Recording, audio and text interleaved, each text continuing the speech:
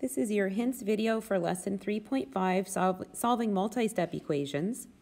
So I have number 15 on here first. I'm going to solve this by first subtracting 4 from both sides. That gets the term that has h by itself. It's not completely by itself yet because it's still multiplied by 2.2, but at least that term is by itself. Now, to get the h completely by itself, I need to divide both sides of the equation by 2.2. And I get h equals, I'm going to think, how many times does 2.2 go into 7.7? Uh, 2.2 times 3 would be 6.6, and then it would fit in another half time, so that would be 3 and a half.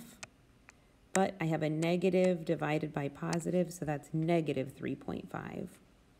Then I can go ahead and check my solution by putting negative 3.5 back into my equation. And I don't know that I can do 2.2 times 3.5 in my head, so I'm going to go ahead and write this out. 2 times 5 is 10, 2 times 3 is 6, plus the 1 is 7. Uh, I get 10 again, and I get 7 again. So I get 7, 7, 0. The decimal is going to be two places over, so that's 7.7. So now I have 4 plus negative 7.7 equals negative 3.7, and that is true. So we are doing well on that one. Erase this and give myself a little bit more space. All right, and this next one, I've got another decimal problem to solve. I'm going to start by adding 5.18 to both sides, and I get 7.3y equals, and I give myself a little bit of space to work here. Um, let's see, I'm adding a negative plus a positive, so that means I'm really subtracting 51.90 minus 5.18. And I'm going to borrow here. 10 minus 8 is 2. 7. 51 minus 5 is 46. Okay, so my answer here is negative 46.72. 7.3y equals negative 46.72. Next, I need to divide both sides by 7.3. All right, this is kind of an ugly one here. Um, I don't like to divide by a decimal, so I'm going to multiply. Oops, I said it and then I didn't do it. I'm going to multiply by 10 to make this 467.2, and I'm going to divide by 73. So I'm thinking to myself, how many times does 73 go into 4 and 46? It doesn't. So eh, I kind of have this big one here. I need to think, how many times does 73 go into 467? So if I estimate and think about 75, I could do 75 times 2 is 150, and multiply that by 3 and I get 450. So that is 75 times 6 is 450. So 73 times 6 would be just uh, 12 less than that. So that would be 438. Okay, and then I'm to subtract. And I'm to bring down my 2. And I need to put a decimal up here in my answer. And 73, again, if I think about 75, 75 times 4 is 300. I think 75, 73 times 4 is going to be exactly 292. So this is y equals negative 6.4. All right, and then we can go ahead and check our solution by putting that back into our original equation, negative 6.4 minus 5.18 equals negative 51.9. And our computation is just a little bit messy here too. So I'm going to do 7.3 times 6.4, 12, 28 plus 1 is 29. 0 as a placeholder, 6 times 3 is 18. 42 plus 1 is 43. Okay, so I'm going to put my decimal point two places over. So this is negative 46.72 minus 5.18, and I want to see if that's equal to negative 51.9. And I really have a negative plus a negative here, so I need to add 46.72 and 5.18, and hopefully I'm going to get 51.9. Let's see if we do. Yes. Okay, so negative 51.9 equals negative 51.9.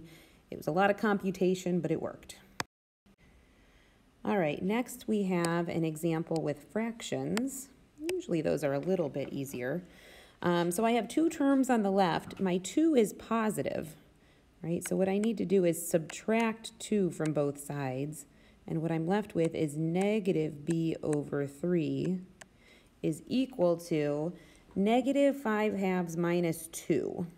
Okay, so negative 5 halves is negative 4 and a half minus, sorry, is negative 2 and a half minus 2 will be negative 4 and a half. Right, negative 5 and 5 over 2 is negative 2 and a half minus 2 is negative 4 and a half. And I could also write that as negative b over 3 equals negative 9 halves. We want to write that as an improper fraction. And then what we need to do is multiply both sides of the equation by negative 3. That will leave us with positive b on the left. Negative times negative is positive.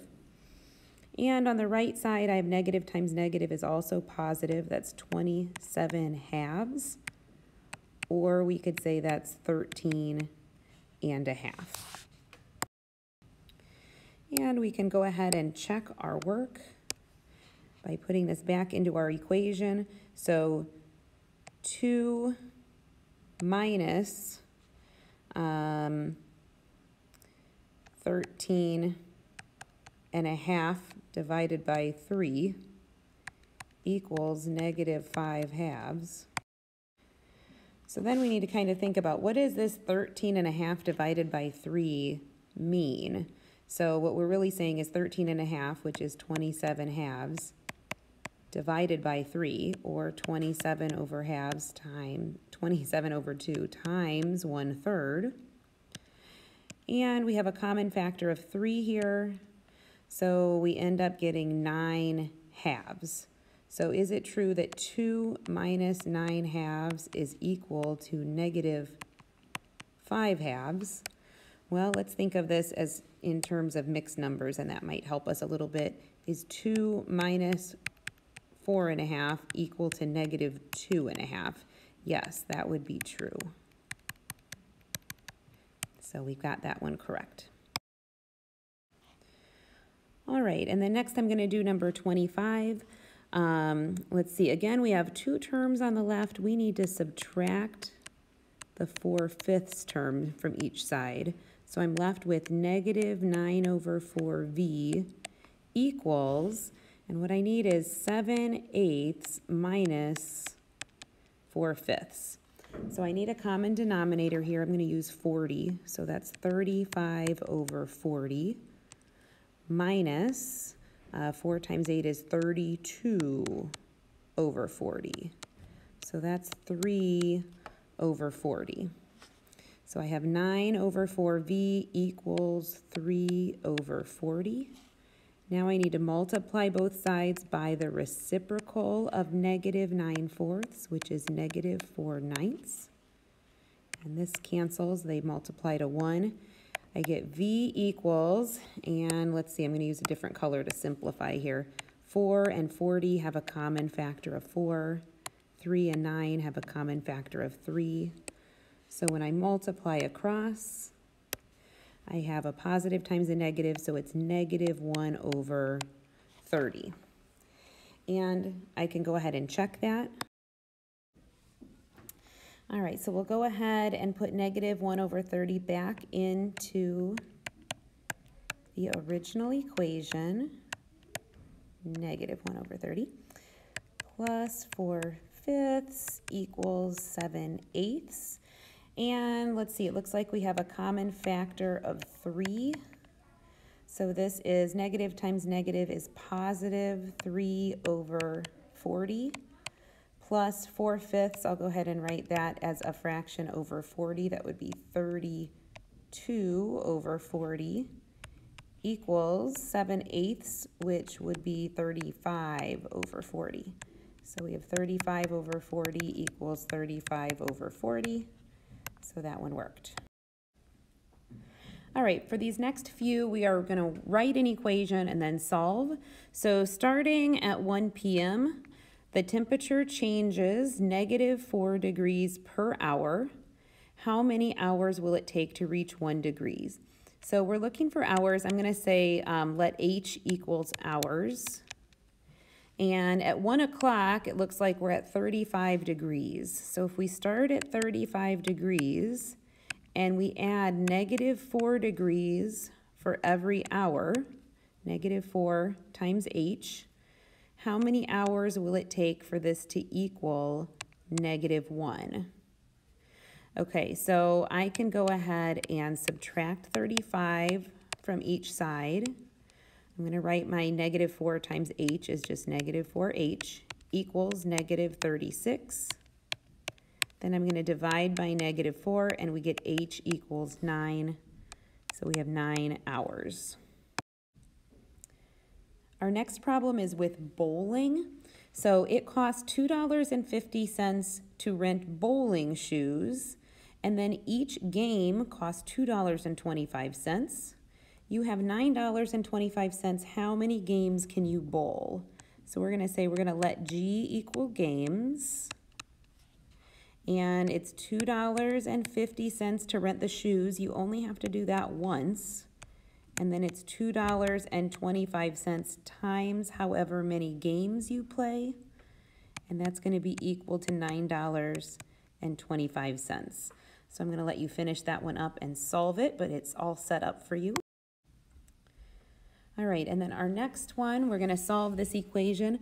This time we need to use the distributive property, so we'll multiply negative 4 times m, and then we'll multiply negative 4 times 3, and all of that is going to equal 24.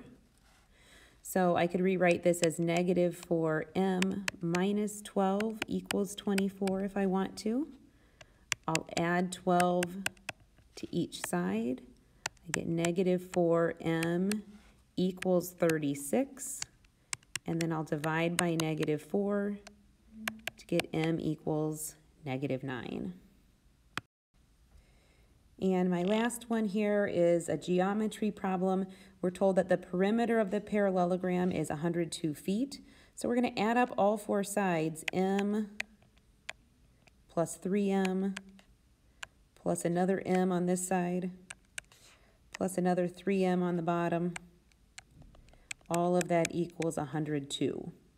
So we can simplify this.